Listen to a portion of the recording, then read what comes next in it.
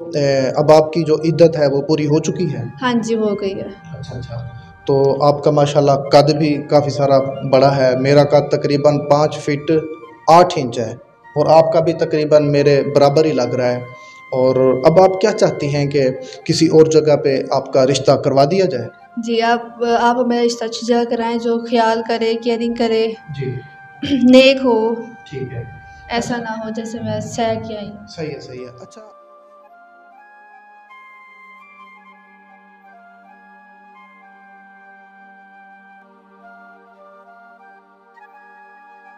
السلام علیکم ناظرین، آپ کا میزبان دلشاد حسین آپ کی خدمت میں حاضر ہے اور آپ دیکھ رہے ہیں دلشاد علی ٹی وی۔ ناظرین، اس ٹائم میرے پاس جو ہے ایک لڑکی موجود ہے اور ان کا جو تعلق ہے، بٹ برادری سے ان کا تعلق ہے اور ان کی کچھ عرصہ پہلے اپنے طے کے گھر میں شادی ہوئی تھی، تو وہ شادی جو ہے ناکام ہو چکی ہے۔ ابھی مکمل کہانی انہی کی زبانی میں جاننے کی کوشش کرتا ہوں کہ کیسے وہ شادی ہوئی تھی اور کیسے وہ شادی ناکام ہوئی ہے۔ اور اس شادی کے دوران انہوں نے کن کن مشکلات کا سامنا کیا ہے؟ کیا کیا پریشانی انہوں نے برداشت کی ہے؟ السلام علیکم۔ وعلیکم السلام۔ کیسی ہے میری بہن؟ میں ٹھیک آپ بتائیں۔ شکر ہے الحمدللہ۔ تھوڑی سی کیمرے کی جانب آپ فوکس کریں ٹھیک ہے؟ اچھا مجھے یہ بتائیے گا کہ آپ کی ایج کتنی ہے؟ میں تقریباً پچیس سال کی ہوں۔ تقریباً پچیس سال کی ہیں۔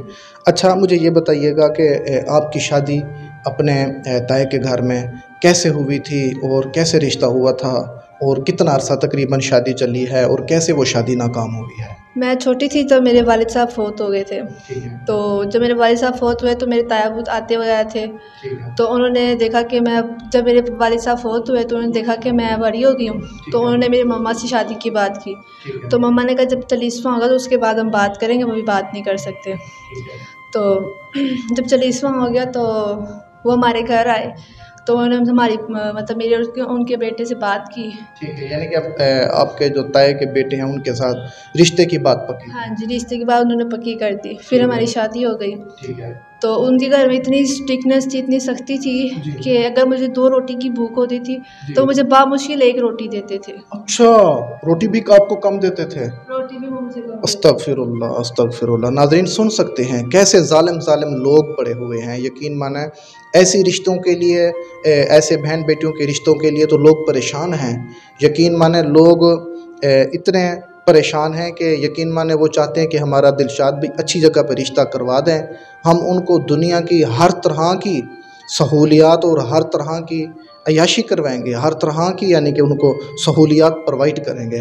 تو یقین مانے میں حیران ہوں پھول جیسی یہ لڑکی ہے، خوبصورت لڑکی ہے اور اس کے اوپر جو ہے وہ یعنی کہ جو تائے کی تائی سختی کرتی تھی۔ جی سگے تایا ابو تایا میں تھے اور ان کا جو میرا ہسبینڈ تھا وہ بھی کرتا تھا ساتھ ان کے ساتھ ہی ملا ہوا تھا وہ بھی۔ یعنی کہ آپ کا شوہر بھی آپ کے امی ابو کے ساتھ ہاں جی ہوا ان کے۔ ساتھ ملا ہوا تھا تایا میں کے ساتھ۔ صحیح ہے یعنی کہ دو روٹی کی طلب ہوتی تھی تو ایک روٹی دیتے تھے۔ وہ بہت مشکل سے دیتے تھے نا۔ اچھا۔ اور اگر گھر میں کوئی فروٹ آ گیا یا کوئی چیز آ گئی اس کو بھی گن کے رکھتے تھے تاکہ میں کھا نہ لوں۔ ہوئے ہوئے ہوئے ہوئے۔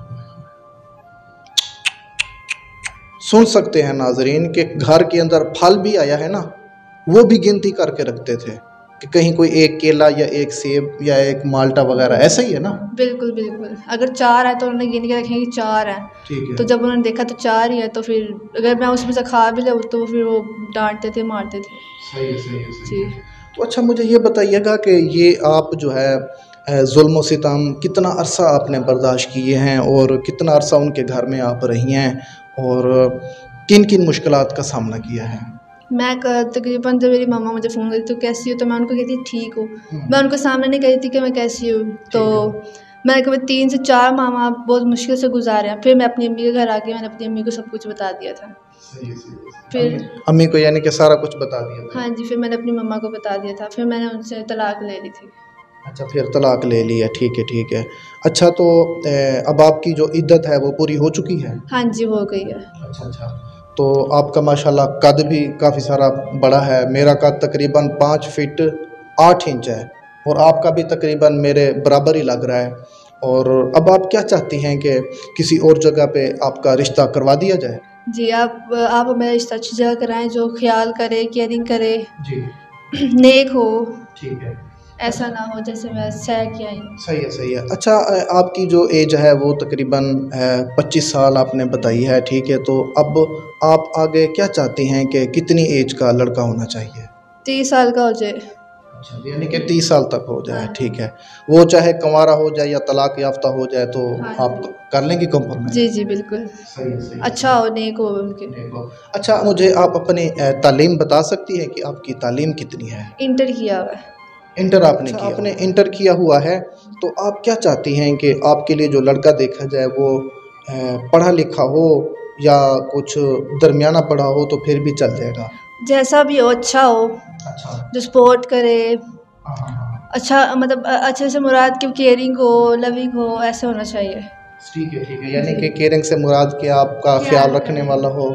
محبت کرنے والا ہو کیونکہ پہلے بھی آپ نے مصیبتیں برداشت کی ہیں دکھ تکلیفیں برداشت کی ہیں۔ اب آپ کی یہی خواہش ہے۔ ہاں جی بالکل۔ اچھا کوئی اگر اوورسیز ہے دوسرے ممالک میں رہتا ہے پاکستانی ہے تو ان کے لیے کیا خوشخبری ہے؟ وہ بھی کریں لیکن ہوں اچھے۔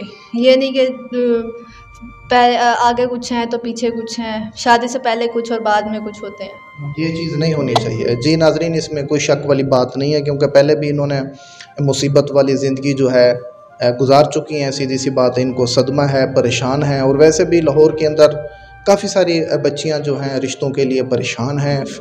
والدین اللہ تعالیٰ سبھی کے لیے آسانی پیدا فرمائے سبھی کی مشکلیں آسان فرمائے۔ تو اچھا لاسٹ میں کوئی میسیج دینا چاہیں ہمارے ویور کو؟ یہی کہوں گی کہ ماں باپ جب بھی اپنے بچوں کا رشتہ کرے سوچ سمجھ سے کریں۔